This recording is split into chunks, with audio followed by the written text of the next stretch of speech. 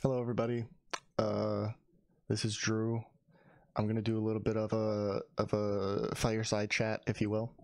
Um, there's a lot of things that I want to talk about, and a couple precursors I want to put on this. First off, trigger warning: I'm gonna be talking about suicide and mental illness. Um, I also want to just quickly note why I'm the one speaking on it. Um, I feel like there's a lot of movements and a lot of things that need to be spoken up about and a lot of problems that need to be fixed in the world. Uh, like even using Black Lives Matter as an example, but I'm not the one talking about Black Lives Matter because that doesn't necessarily like I shouldn't be the one speaking for that. That should be other people in the black community that that's actually affecting and like the change that it should be coming from them. And I'm speaking on this issue because I feel like I I'm within the demographic that it affects most heavily. In case you guys didn't know, a couple suicide stats for you. Uh, literally, the rate of suicide is highest among middle-aged white men. To a point, uh, there's a study done in 2018. I'm reading this now that uh, men died by suicide 3.5 times more than women. Um, and white men accounted for 70% of all suicide deaths in 2018. Um, that's according to this like random study I found, but uh, there's a lot of different statistics that kind of all support this general idea that like white men are the uh, highest, mo- most susceptible to suicide, and it's kind of so. So I feel like this is kind of my issue to talk about, and that's why I'm going to be talking about it.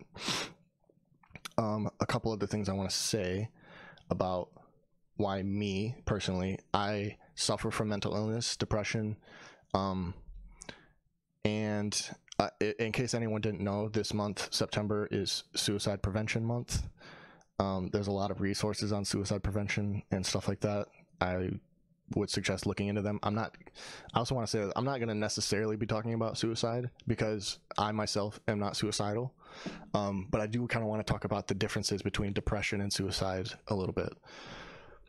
Um, also, one more thing before I actually start. I know this is like a really long intro, but it's also my birthday today. There's I'm gonna be posting this like on my Facebook page and on my YouTube and Twitter and stuff, but um, I don't post a lot. And if you're seeing this and haven't seen my face in a while or don't see me posting, um, that's fine. I'm doing it on my birthday because there's usually more traffic on your birthday. That's why I'm posting it, and I feel like it's important. It's a good time. Um, I've recorded this video like five to ten times at different points in time and didn't feel like posting it at all. So I'm re-recording it now and gonna post it now. So hopefully. Um, okay, so what do I actually want to talk about? I want to talk about the difference between suicide and depression. I think a lot of times people view depression as like the terminal ending of of or they talk about suicide as the terminal ending of depression. Like if you have depression long enough or bad enough that you'll end up uh, committing suicide, and I really don't think that that's true. Um, for me personally, I feel like no matter how depressed I could get, or how sad I could get, or how sick I could get, suicide is just not on the table for me. Um, logically, it just doesn't make sense to me personally, and I get that for a lot of people they, they see it as a as a rational thing and but to me I just don't. That doesn't mean that I'm not depressed. That doesn't mean that I'm less sick than anybody else, but I just think it's a different thing.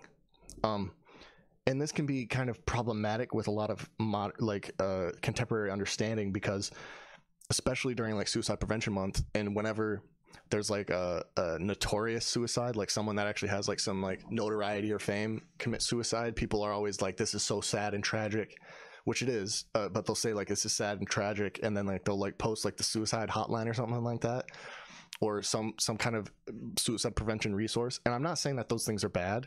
I think that those things are great, and we do need to be like trying to help people who are suicidal. But for people like me, I don't feel like that helps at all. Um, it kind of, I don't know. It just it's not helping in the right way. I feel like in the therapy I've gone to and the thinking I've had, the best word I can come up with is neglect. Uh, the definition of neglect is to not care for properly. It isn't to not care, and it's not even to care improperly. Mm, well, it kind of is. It's not. It's not to hurt or to actively like be putting down. It's just not to be doing exact like what needs to be done in a lot of ways. It's kind of like trying to shove the puzzle pieces in when they don't really fit.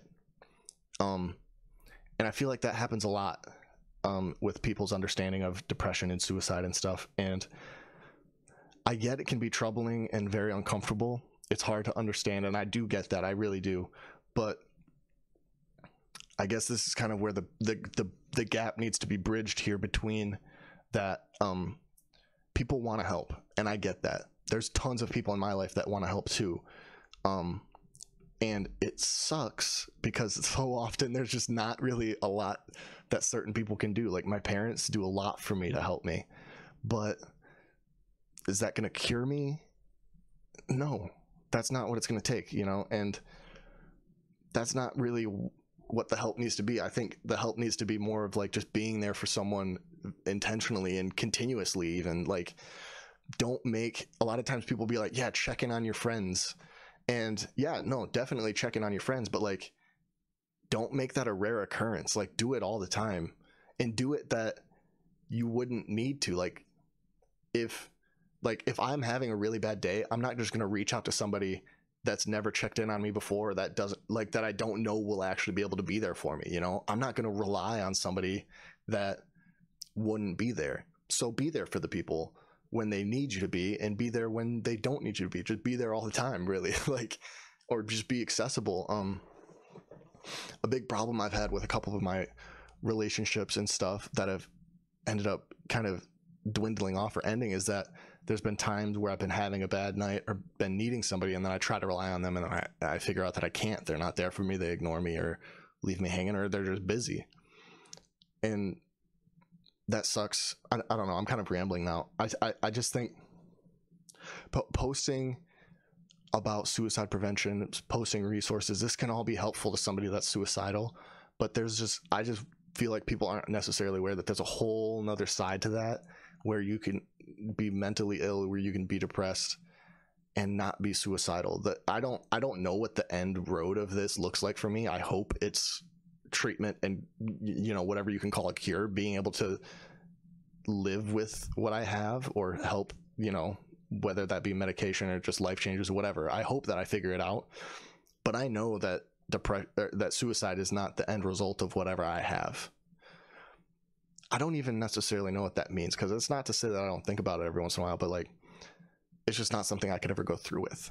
And I get that it's really hard to like understand that, but I don't know. So so for me, when I see somebody post something like that, it just kind of seems insincere, I guess, because that's just not the help I need. It's like throwing a life raft out to somebody that's really good at swimming or something like that. Like um I don't know. It's just it's just tough. And I don't even know where I really want to end this video. I had some things I wanted to say and I said them. I'm not saying I have the answers. I don't. Even the people that I meet online and stuff like that or in person that are having these kind of same problems, like I have coworkers and stuff. I'm like, okay, yeah, I mean, go to therapy and get on right medications and stuff. That's I- I'm trying too. But does that mean that therapy is the cure? No. Does that mean that me- proper medication is the cure? No. Like there aren't necessarily cures to these things. There are treatments, but not cures. That was one of like the biggest things that I had to learn going into this kind of struggle. That that's just really not how it works. Anyways, I know I've rambled. I'm trying to keep this under 10 minutes because this is again multiple times I've tried this. Thank you for listening. And I think even just like making it through this far in the video shows that you're like trying to care at least. And that's really all that most people can ask for, like ever do, is like try to care about them. If you misstep, if you mismanage, that's fine. Mistakes are forgivable, but not trying isn't, if that makes sense. Like, I don't know. Uh, just be kind to people, be nice to people.